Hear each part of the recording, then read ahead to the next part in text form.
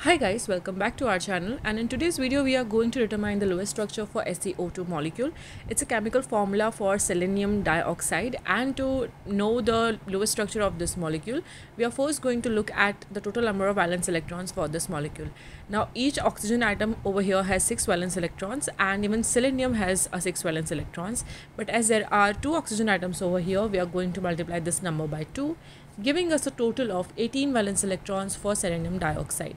Now selenium atom will here take the central position and both the oxygen atoms will be arranged around it like this and to show a bond formation between selenium and oxygen atom we are going to place a pair of electrons. So we have already used up 4 out of 18 valence electrons and now we are going to arrange the rest of the electrons around oxygen atoms first and then selenium atoms. So we will first try to complete the octets for oxygen atoms and now after we are left with only 4 valence electrons for selenium uh, you can see over here that selenium does not have a complete octet it just has 6 valence electrons. So as per the rules to attain a relevant Lewis structure all the atoms must have octet like stable structures. So we are going to try that by shifting a pair of electrons from this oxygen atom in the center and doing that uh, we will have 8 valence electrons for selenium atom as well.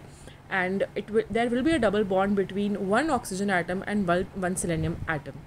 now um, to check if this structure is relevant you can calculate the formal charges of that and doing that you will come across that selenium over here has a plus 1 charge and oxygen has a minus 1 charge. In Lewis structures we try to attain a structure in which atoms have uh, formal charges as close to 0 as possible. So what we are going to do is we are going to shift another pair of electrons uh, in the center and then calculate the charges and forming a double bond on both the sides you will get formal charge of 0 on all the atoms and hence this is the Lewis structure of selenium dioxide in which it forms the, the central atom forms a double bond with both the oxygen atoms and I hope this video helps you to understand the Lewis structure for SeO2. For more such videos on Lewis structure, molecular geometry, polarity of the molecules, make sure to subscribe to our channel and thank you for watching.